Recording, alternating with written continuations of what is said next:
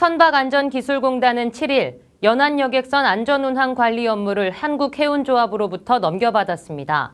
정부는 해운사 이익단체인 해운조합에서 수행해오던 운항관리 업무를 세월호 사고 이후 여객선 안전운항 관리의 전문성과 독립성을 유지할 수 있도록 선박안전기술공단으로 이관토록 했습니다. 이 같은 내용을 담은 해운법 일부 개정 법률안은 지난해 12월 9일 국회에서 의결됐으며 올해 1월 6일 공포돼 이날 시행됐습니다. 선박안전기술공단의 여객선 운항관리 조직은 총 115명으로 확정됐는데요. 해운조합 당시보다 23명이 늘어난 규모입니다. 모익수 이사장은 이날 인사말을 통해 운항관리가 좀 더 체계적이고 철저하게 수행될 수 있도록 제도와 관행 개선, 전문성 확보, 선사와의 커뮤니케이션 강화 등의 역량을 결집할 것이라고 밝혔습니다.